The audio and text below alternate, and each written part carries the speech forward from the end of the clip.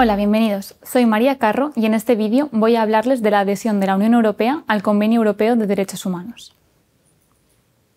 En Europa existen diferentes sistemas de protección multinivel de los derechos humanos o fundamentales, el de la Unión Europea, el del Consejo de Europa y el de cada una de los Estados partes de ambas organizaciones.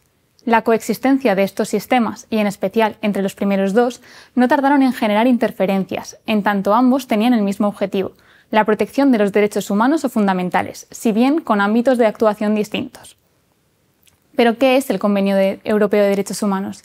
El Convenio Europeo de Derechos Humanos, o CEDH, fue adoptado el 4 de noviembre de 1950 por el Consejo de Europa y tiene, tras el cese de Rusia en 2022, 46 Estados miembros, 27 de los cuales también forman parte de la Unión Europea. Este convenio establece un catálogo de protección de derechos humanos y libertades fundamentales. Aunque la Unión Europea tuviese en el momento de su creación un objetivo de convergencia económica, a lo largo de su evolución ha aumentado sus objetivos y competencias acompañado de una necesidad de proteger los derechos en juego en el marco del derecho de la Unión Europea. Es en este contexto en el que se ha planteado su adhesión al Convenio Europeo de Derechos Humanos. No obstante, el camino hacia la adhesión de la Unión Europea al convenio ha sido uno largo que aún no ha finalizado. En 1990, la Comisión emitió una comunicación instando a la adhesión. Consecuencia de esta, se inició un primer intento que concluyó con la solicitud y emisión de un dictamen del Tribunal de Justicia de la entonces Comunidad Europea. Este trataba de responder si la comunidad gozaba de competencias para suscribir tal tratado o no.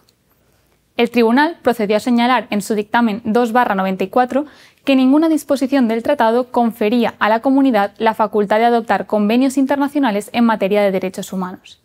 Asimismo, concluyó que una modificación semejante tendría envergadura constitucional, sobrepasando así los límites establecidos en el tratado, y solo podría realizarse mediante una modificación del tratado. Más tarde, con el proyecto de tratado por el que se establecía una constitución para Europa, que nunca se llegó a adoptar, hubo un primer intento de incorporar el mandato de adhesión al convenio en su texto. La Constitución establecía expresamente que la Unión se adherirá al Convenio Europeo para la Protección de los Derechos Humanos y de las Libertades Fundamentales, y que esta adhesión no modificará las competencias de la Unión que se definen en la Constitución. Tras el fracaso por todos conocido de la misma, se adoptó años más tarde el Tratado de Lisboa, que volvió a recoger este mandato de adhesión en su artículo sexto, apartado segundo del Tratado de la Unión Europea. Entre la firma y la entrada en vigor del Tratado de la Unión Europea 13 de diciembre de 2007 y 1 de diciembre de 2009 respectivamente, la Asamblea Parlamentaria del Consejo de Europa adoptó su resolución 1610 de 2008 sobre el acceso de la Unión Europea al Convenio Europeo de Derechos Humanos. En ella señaló, entre otras cosas, que la no adhesión tiene efectos negativos en el buen funcionamiento de la justicia europea, ya que pone en peligro la coherencia del sistema de garantías de los derechos humanos en Europa. La negociación se produjo en esencia entre la Comisión, por parte de la Unión Europea, y un grupo de trabajo del Comité Director de Derechos Humanos por parte del Consejo de Europa.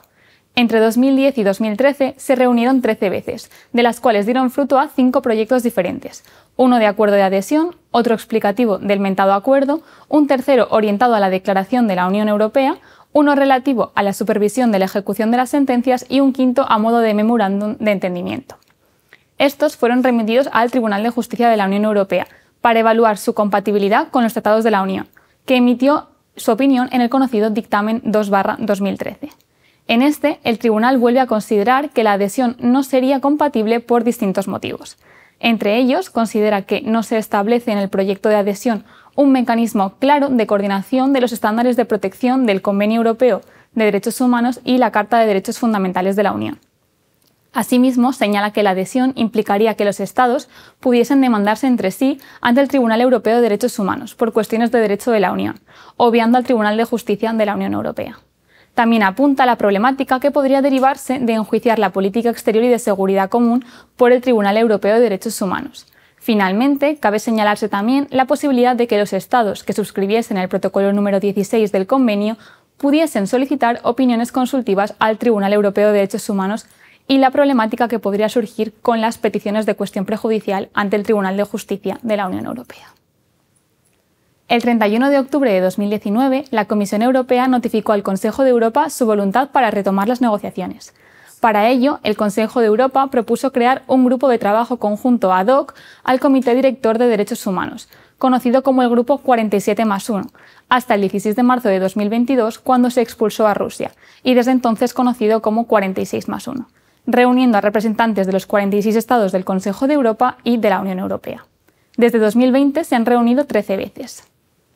En una declaración conjunta, la secretaria general del Consejo de Europa y la vicepresidenta de Valores y Transparencia de la Comisión Europea destacaron la importancia crucial de la reanudación de estas negociaciones para mandar una señal fuerte del compromiso de ambas organizaciones y sus miembros a los valores fundamentales sobre los que se sustentan.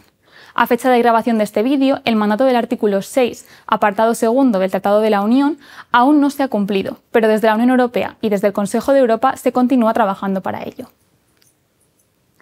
Esto es todo lo que les tenía que decir sobre la adhesión de la Unión Europea al Convenio Europeo de Derechos Humanos. Muchas gracias por su atención.